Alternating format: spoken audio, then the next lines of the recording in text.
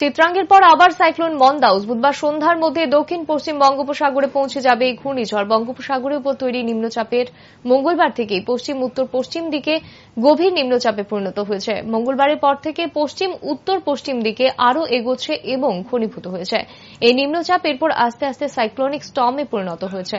Cyclonic Sturm তামিলনাড়ুর উত্তর, পুদুচেরি এবং পার্শ্ববর্তী অন্ধ্রপ্রদেশ উপকূল এই সাইক্লোনের সবচেয়ে বেশি প্রভাব পাবে বলে ধারণা করা হচ্ছে।